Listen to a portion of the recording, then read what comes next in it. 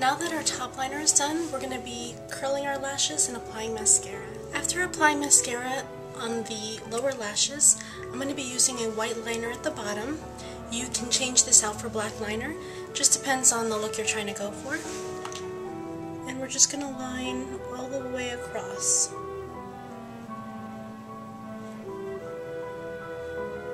Also, with that medium brown shadow we used before, texture, I'm going to be taking a pencil brush.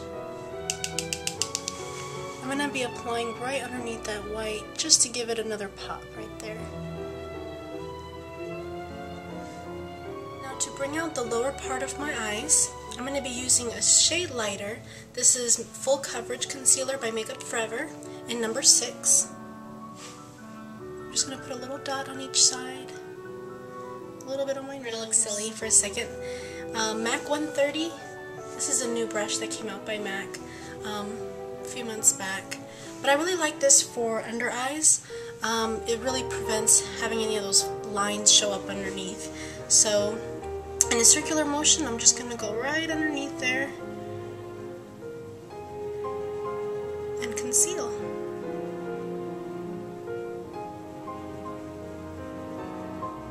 And as you can see here, I'm almost doing like in a V shape.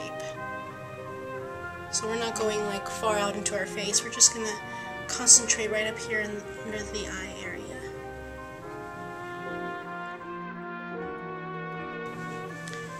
Bring a highlight to our nose, just going to stay in a pretty much a straightforward pattern.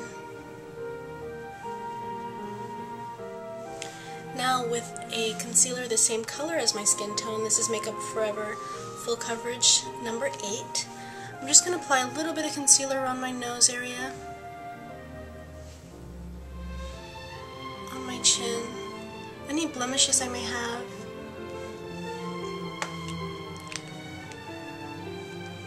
And we're going to conceal those areas so that that'll prevent that area from turning red.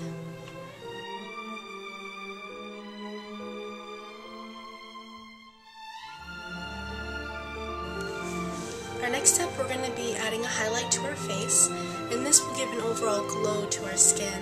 I'm going to be using NARS, the Multiple in Copacabana. It's a soft pink color. Um, any cream, liquid, powder, shimmer, highlighter you have work just fine. Again, you'll want to stay away from any glitters. And we're just going to be applying a soft line down the nose here, a sweep across our cheekbone, you can do a little highlight over the lip. If you choose to, you can go right over the brow. And with clean hands, we're just going to be brushing that right in there.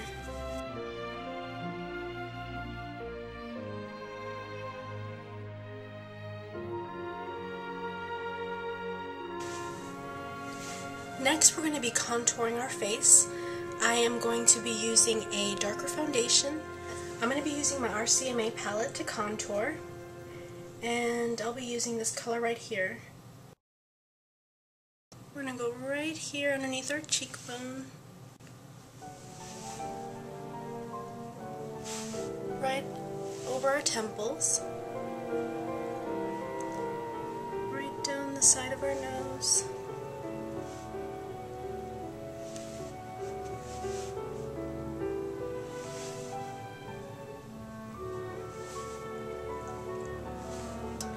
Right under our lip. And if you have a little excess baggage, we're just going to draw a little line here under our jawline.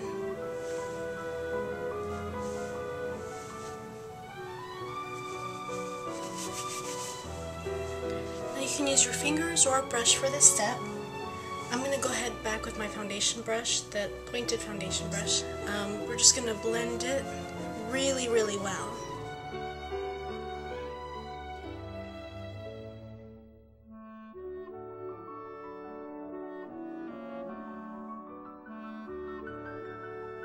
So now we're going to set our skin. Now remember, under our eyes we want to use a fine powder. I'm going to be going back in with Makeup Forever High Definition and my 224 brush and just go lightly wherever we concealed.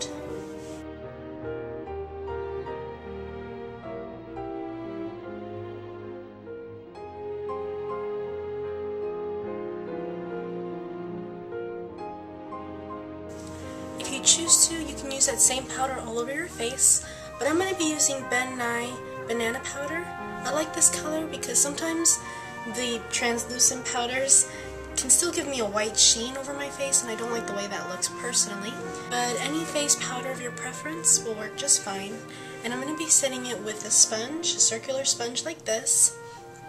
The reason I do it that way is because I feel like my skin doesn't look as oily when I use a sponge to press setting powder onto my skin.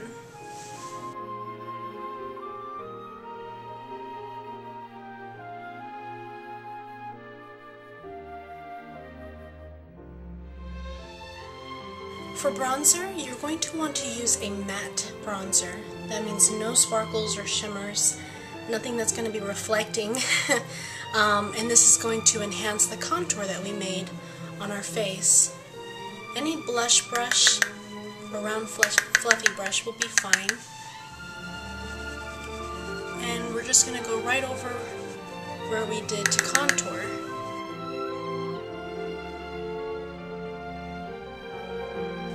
be sure to blend very, very using a soft blush.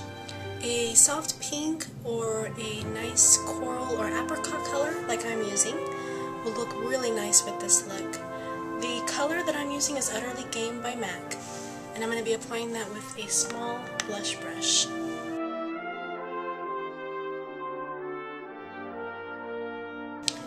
I'm also going to be dusting a little bit of that blush into our temple very lightly. Little bit on her nose and under the chin as well. And onto the chin as well. That'll just give it a nice united type of look.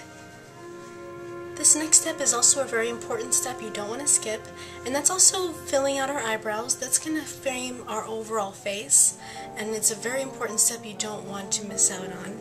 I'm going to be using MAC brow pencils. I'm almost out, but I love these so much.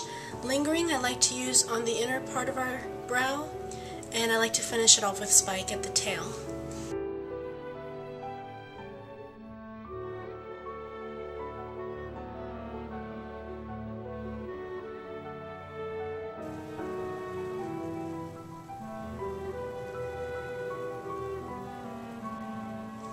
Alright ladies, so now we're down to our final step, and that is our lip products. um, I'm going to be doing a lip liner, a lipstick, and a lip gloss. Our lip liner, we're using Makeup Forever. This is in 1C, it's a nude color. And to complement that, I'm using Makeup Forever. This is 503, which is also a nude. And any gloss will work over it. Um, this is pretty much transparent. This is Makeup Forever Glossy Full Color, and this is a number 9.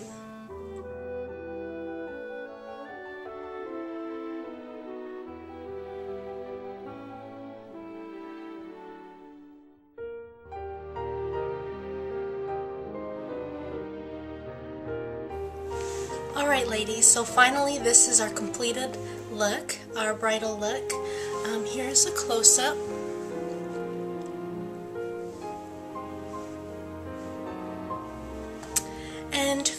Change any part of the look I used or any of the products I used, of course. If you have any questions or if you wanted a recommendation for maybe a dupe of a product that I used in this video, just leave a comment below. Um, if you have any questions at all or if you have any requests, just leave them below. I hope you guys have a great day and I'll see you on the next tutorial.